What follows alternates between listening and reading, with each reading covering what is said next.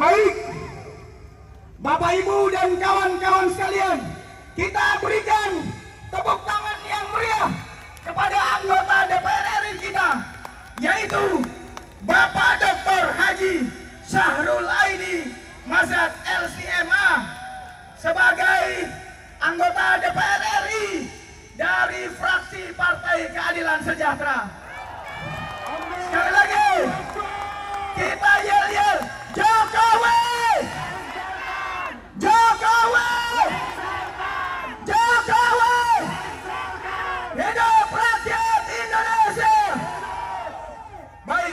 Dengan hormat kami persilahkan kepada Bapak untuk menyambut aspirasi rakyat Indonesia yang menginginkan agar hak angket segera digulirkan. Agar supaya segala macam segala bentuk kecurangan pemilu yang mencederai demokrasi kita segera terungkap. Bahkan campur tangan Jokowi dan kroni-kroninya bisa segera diungkap dan segera diadili oleh rakyat Indonesia. Semangat! Termasuk harga-harga kebutuhan rakyat yang meningkat dan langka. Kita berharap ada komitmen kerakyatan dari anggota DPR RI terhadap situasi rakyat dan situasi bangsa kita hari ini. Lengserkan! Lengserkan! Lengserkan baik dengan hormat kami persilahkan Baik, Assalamualaikum warahmatullahi wabarakatuh. Salam keadilan. Salam perjuangan. Hidup rakyat. Hidup rakyat. Hidup rakyat. Baik, Bapak-bapak dan Ibu-ibu hadirin sekalian. Terima kasih telah datang di rumah rakyat ini. Di rumah bapak-bapak, ibu-ibu. Bapak-bapak, ibu-ibu berhak untuk menyampaikan aspirasi. Dan saya sampaikan selamat datang bagi bapak-bapak, ibu-ibu yang hati nuraninya hidup. Akal sehatnya hidup. Yang sangat menghargai suara rakyat. Yang tidak menyukai negeri ini pemimpin hasil kecurangan.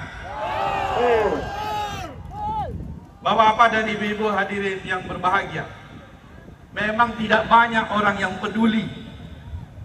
Memang tidak banyak orang yang kemudian merasa prihatin ketika di depan matanya ada kecurangan dan berani untuk melawan kecurangan itu.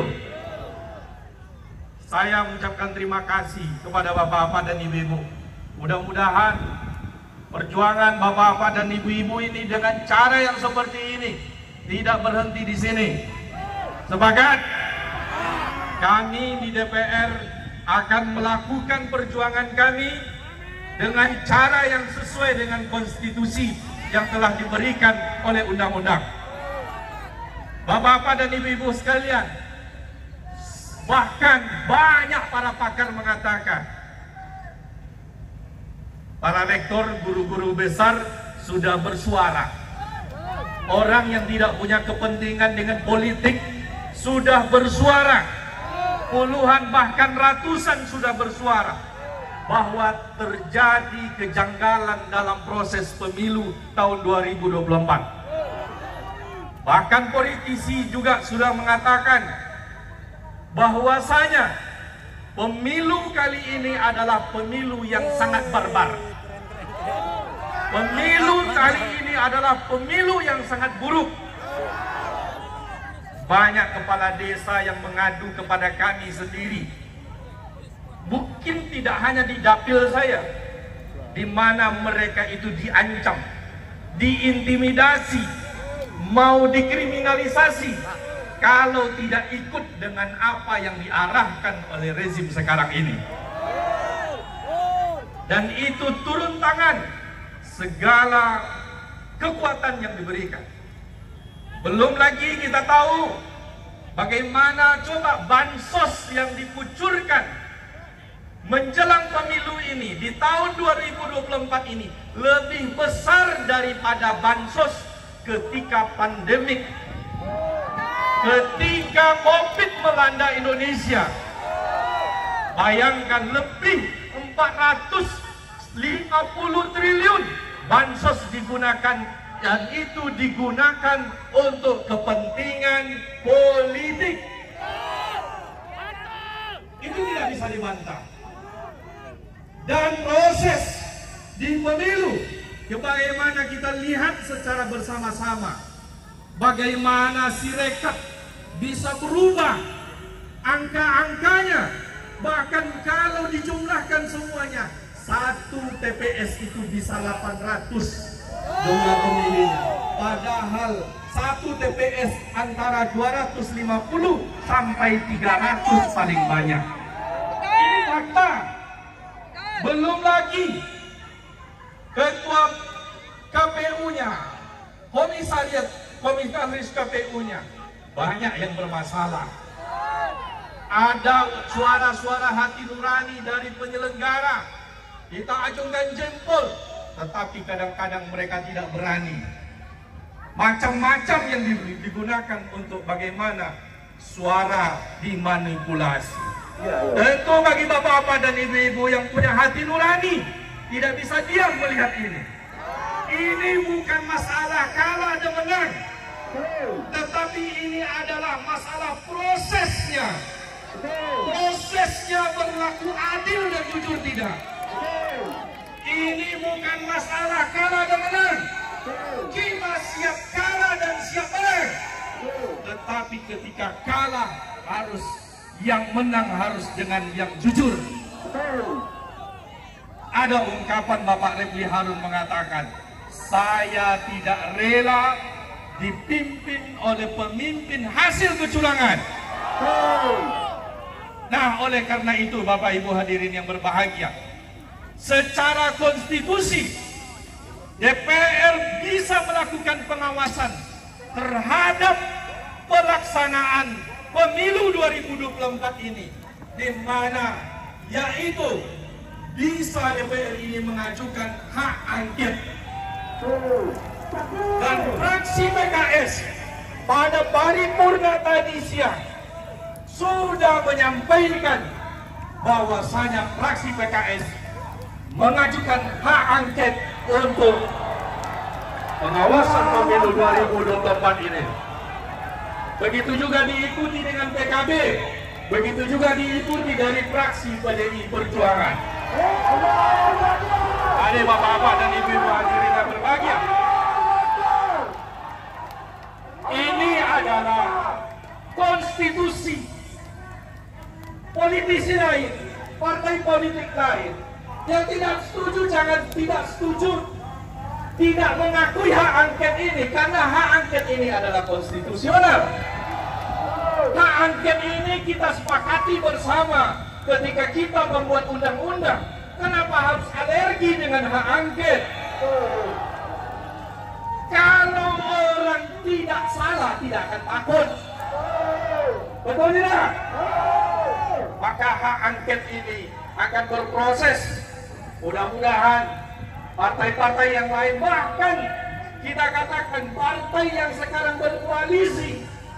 Kalau punya hati nurani ketika melihat kecurangan jangan takut untuk digulirkannya angket. Apalagi DPR ini salah satu tugasnya adalah melakukan pengawasan. Kalau pemerintah ini tidak diawasi maka dia akan berbuat semena-mena. Kami berada di sini ditunjuk oleh bapak-bapak dan ibu-ibu sebagai wakil daripada bapak-bapak dan ibu-ibu adalah untuk mengawasi dan memastikan pemerintah menjalankan tugasnya sesuai dengan undang-undang. Dan undang-undang mengamanahkan bahwasanya pemilu harus dilakukan secara jurdil, jujur dan adil. Ketika ada indikasi bahwasanya pemerintah tidak melakukan pemilu ini dalam hal ini KPU secara adil dan jujur maka berhak DPR untuk mengajukan hak angket apalagi disinyalir lembaga-lembaga pemerintahan ada yang ikut-ikut untuk mengintervensi untuk memenangkan pihak tertentu dalam pemilu ini. Bapak-bapak dan ibu-ibu hadirin yang berbahagia, saya ucapkan terima kasih kehadiran Bapak Ibu semua. Mudah-mudahan perjuangan kita ini akan menemukan hasilnya nantinya. Dan insya Allah kami akan berjuang di DPR. Dan tadi mulai pembukaan sidang kali ini sudah disuarakan agar hak angket ini kita gulirkan di DPR ini. Bapak-bapak dan ibu-ibu hadirin yang berbahagia, mungkin ini yang dapat saya sampaikan. Salam keadilan, salam perjuangan, salam hati nurani rakyat. Terima kasih.